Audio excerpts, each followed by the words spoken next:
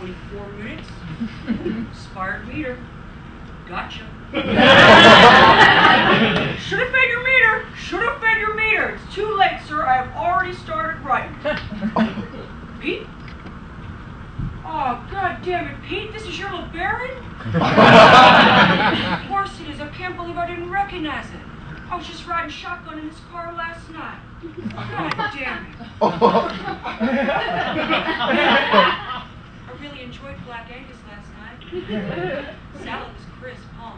and I loved it right when I was getting hungry, thinking, where's my steak? You were already asking the waiter. Oh, Pete, how could you ignore your meter?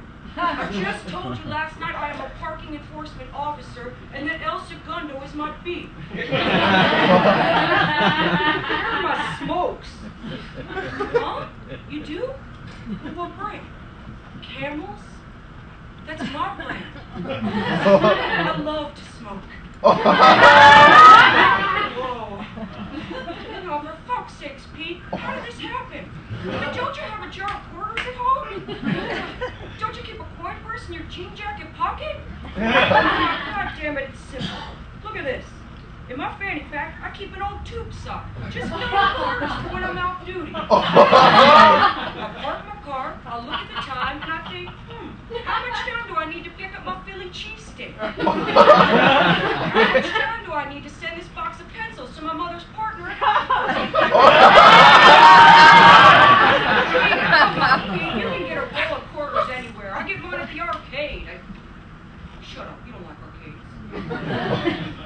No, I go every Sunday. That's my day off. Uh, First, I wake up and I go to the dog park. Well, no, I don't have a dog. I just like them.